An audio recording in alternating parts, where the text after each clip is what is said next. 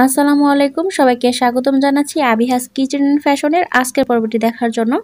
আজকে আমার খুবই পছন্দের একটি রেসিপি আপনাদের সাথে শেয়ার করব। আর সেটি হচ্ছে চিংড়ি দিয়ে নুডলস রান্না। তো নুডলস কিন্তু অনেকে অনেকভাবে খেয়ে থাকেন। আশা করছি আপনারা যদি এইভাবে নুডলস রান্না করেন, আপনাদের কাছেও অনেক ভালো লাগবে।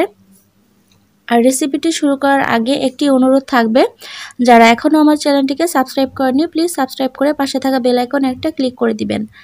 আর আমার চ্যানেলটিকে যারা সাবস্ক্রাইব করে দিয়েছেন, তাদেরকে অসংখ্য ধন্যবাদ।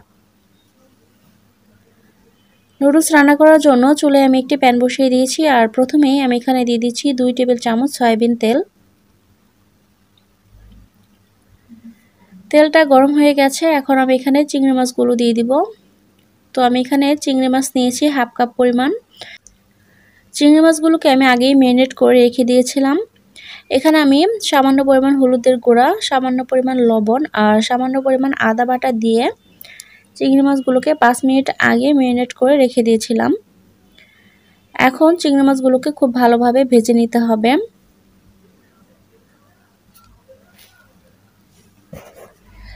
আমি এখানে তিন মিনিটের মতো সময় নিয়ে চিংড়ি মাছগুলোকে খুব ভালোভাবে ভেজে নিয়েছি।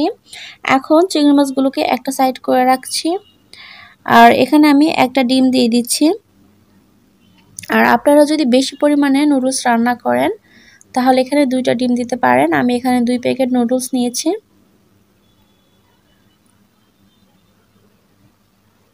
তো ডিমটাকেও কিছুক্ষণ সময় নিয়ে ভেজে নিতে হবে।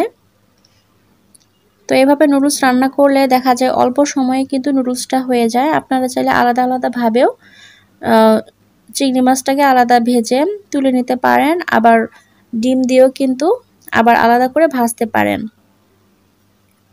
এখন ডিমটা ভাজা হয়ে গেছে, একটা সাইড করে রাখছি। এখানে আমি পেঁয়াজ আর কাঁচামরিচ কুচি দিয়ে দিচ্ছি। এখানে আমি দুইটা কাঁচামরিচ কুচি নিয়েছি আর নিয়েছি একটা বড় সাইজের পেঁয়াজ কুচি। এখন এগুলোকেও আবারও কিছুক্ষণ সময় নিয়ে ভেজে নিতে হবে।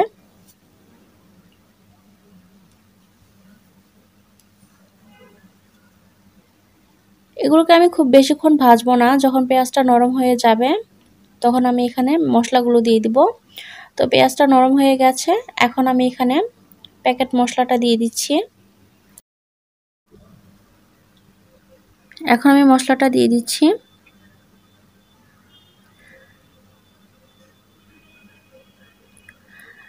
তো কিছুক্ষণ নেড়ে চেড়ে মিশিয়ে নেওয়ার পরে এখানে আমি নুডলসগুলো দিয়ে দিব।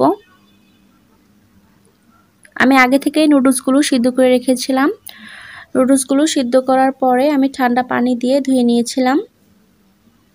আর আমি এখানে দুই প্যাকেট নুডলস নিয়েছি। নুডলসগুলো দেওয়ার পরে চিংড়ি মাছ আর মশলার সাথে খুব ভালোভাবে মিশিয়ে নিতে হবে। এখন চুলার আঁচটাকে একটু বাড়িয়ে দিয়েছি। আর দুই মিনিটের মতো জাল দিলেই হবে।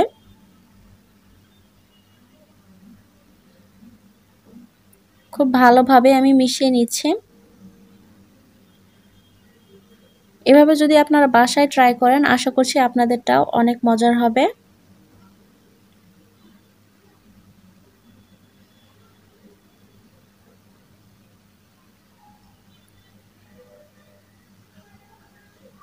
প্রায় দুই থেকে তিন মিনিটের মতো সময় নিয়ে নুডলসগুলোকে আমি খুব ভালোভাবে মিশিয়ে নিয়েছি। তো নুডলস রান্নাটা হয়ে গেছে। আশা করছি আমার আজকের রেসিপিটি আপনাদের কাছে ভালো লেগেছে। আর চাইলে আপনারা ঝটপট এভাবে খুব সহজেই বাসায় নুডলস রান্না করতে পারেন চিংড়ি মাছ দিয়ে। আর রেসিপিটি ভালো লেগে থাকলে লাইক কমেন্ট শেয়ার করতে ভুলবেন না। আজ এই পর্যন্তই। সবাই ভালো থাকবেন, সুস্থ থাকবেন। ফিরে আসব নতুন কোনো রেসিপি নিয়ে। আল্লাহ হাফেজ।